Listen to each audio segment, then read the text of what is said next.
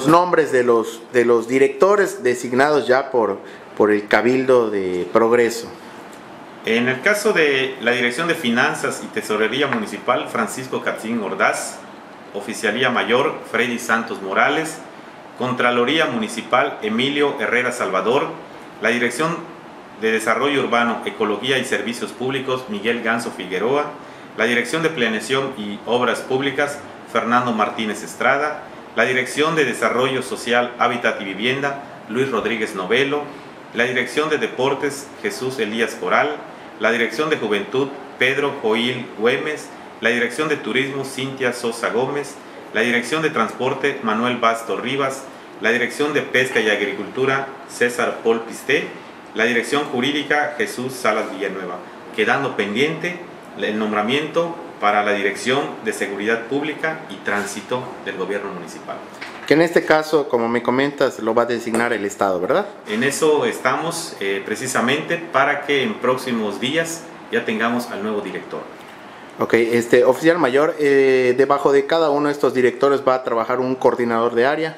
Sí, efectivamente tendremos en cada una de las áreas y con las necesidades que tuviera cada área, cada dirección, se harán los nombramientos pertinentes de coordinaciones. Ok, ¿solo va a haber coordinaciones o va a haber subdirecciones? Bueno, en sus casos eh, puede ser que haya subdirección o coordinaciones.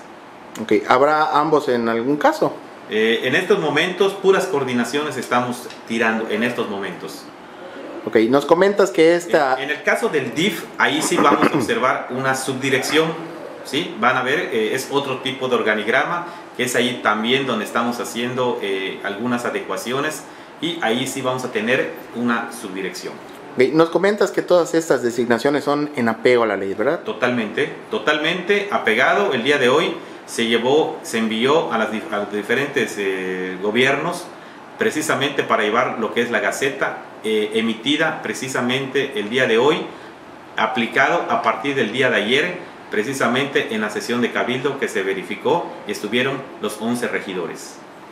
Ok, eh, oficial mayor, nos comentas también este, todo esto eh, de, las, de las nuevas direcciones y todo, pues no va a implicar una mayor carga a la nómina municipal?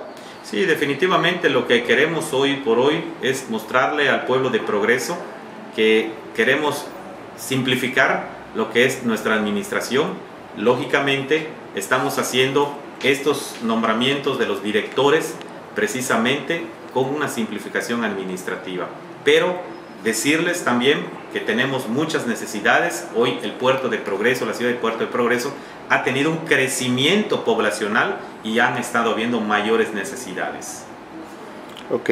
Y me comentabas también hace un momento que vas a ser muy estricto en ese sentido, vas a, a ver que, pues, que haya ahorro también en, en, ese tipo de nombramientos, que no haya exceso de personal. Y también comentarte, no solo es eso, sino vamos a entrar a nuestras declaraciones eh, patrimoniales como funcionarios a partir de que fuimos electos. Tenemos un tiempo determinado que la ley nos marque y próximamente les daremos a conocer precisamente todo a cada uno de nosotros que somos funcionarios, nuestros patrimonios eh, y que el pueblo de Progreso y la ciudad de Progreso lo tendrá que saber. O sea, por primera vez este, van a hacer este, públicas sus declaraciones patrimoniales los funcionarios de primer nivel, incluyendo el alcalde, ¿verdad? De primer nivel y si es posible hasta los propios coordinadores. Esto para que sepan cómo, que, cómo ingresan cada uno de los funcionarios.